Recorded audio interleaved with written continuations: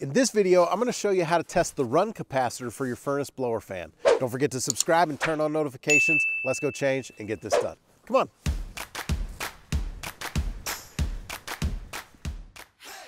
Sometimes preventative maintenance is about trying to identify issues before there's a problem in the middle of a cold night. One of the things that you should test at least once a year is the run capacitor for your furnace blower fan. A blower fan is what moves all of the air back and forth throughout your house. Motors pull a lot of electricity and they need help from a capacitor. A capacitor can go bad, but before it does, it'll usually warn you uh, if you know what to look for. All you need is a meter that'll actually measure microfarads and you can do this yourself. If you have that meter, I'm going to show you how to test a run capacitor and how to tell if a run capacitor needs to be replaced. Not all furnace blower motors have a run capacitor. Higher end ECM motors won't have one. So I'll show you where to look for it and how to tell if yours actually has a run capacitor. Most of the time, the run capacitor is attached to the blower assembly like this. This is the run capacitor. The blower assembly is in the part of the furnace nearest the filter. Before we get started, we want to turn the power off at the switch or the breaker. Once you have the power off, you can remove the doors and expose the blower fan. It's a good idea to take a picture of how the wires are connected so that when you put it back together, you can hook it up the right way. Even when the power is off, a capacitor can still hold an electrical charge. In order to safely discharge a capacitor, take a screwdriver and put it across the terminals of the capacitor. Now when you're looking at the capacitor, if you see bulging or something leaking out of the side, you can skip the testing step and go straight to replacing it. But if it looks okay, the next thing we want to do is test it.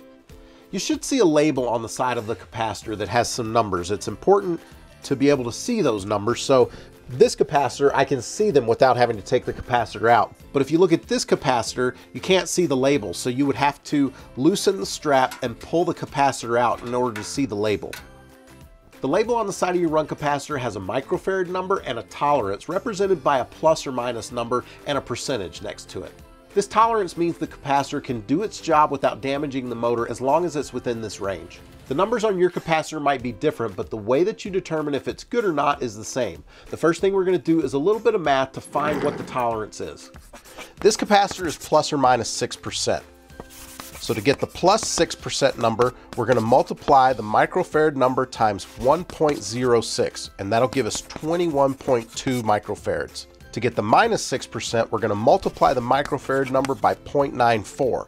That'll give us 18.8 microfarads. Again, this is the tolerance that the capacitor can safely work between. So before you test it, remove the wires that are attached to the capacitor. If they're a little stubborn, you may need to use some pliers to get some leverage. With your tester set to measure capacitance, place a probe on each terminal. You'll get a number on your meter and compare the number on your meter to the tolerance range that we just calculated for your capacitor. This capacitor is reading well within the range that it should.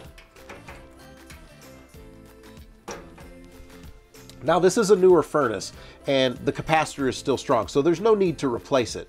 If the capacitor was out of range though, you should replace it, even if your system is still running. The longer that your fan runs on a weak capacitor, the more it shortens the life of the fan motor, and it's not cheap to replace, especially when you compare it to the cost of replacing the capacitor. If you need to replace it, all you need to do is get a capacitor with the same microfarad readings and put that back in instead of putting the old one back in.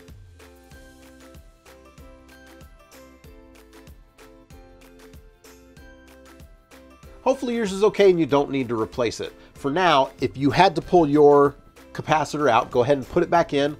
We'll button everything up and turn the power back on.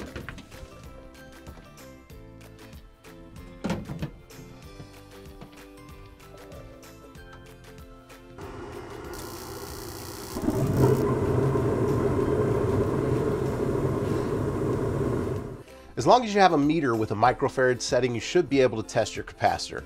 If you don't have one of those meters, don't worry about it. As long as you're having your furnace serviced once a year, the technicians that come out to perform a tune-up should test the capacitor as part of that service, and they'll let you know if it's out of range.